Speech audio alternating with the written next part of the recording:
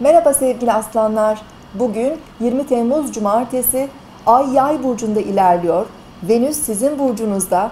Bugün hayatın zevkli ve keyifli tarafları daha fazla ilginizi çekebilir. Ee, günlük işler ve sorumluluklarla fazla ilgilenmek istemeyebilirsiniz.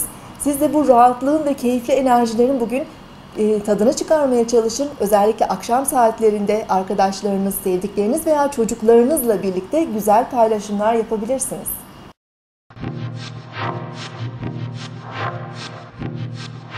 Burcunuzu dinlediniz.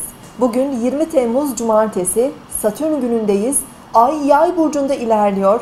Güne canlı, iyimser, neşeli enerjiler veriyor.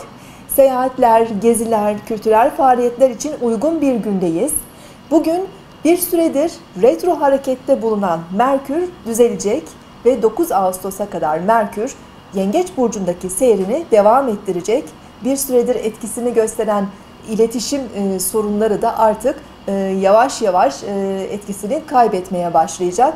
E, yay burcunda ilerleyen ay akşamüstü 18'den itibaren boşlukta olacak. Ancak son açısını Venüs'le üçgen yapacak. Bu nedenle akşam saatlerinde Ay-Venüs üçgen açısının olumlu enerjisini hissedebiliriz. Her türlü sosyal faaliyet, duygusal paylaşımlar için güzel enerjiler devrede olacak. Bayanlarla ve annemizle ilişkilerimiz daha olumlu ilerleyebilir. Güzellik, bakım, estetik ve sanatsal çalışmalarda çok daha fazla verim alabiliriz akşam saatlerinde. Ay 21.40'dan itibaren Oğlak Burcu'na geçecek ve daha kararlı, ciddi enerjiler vermeye başlayacak. Yarın tekrar görüşmek üzere. Hoşçakalın.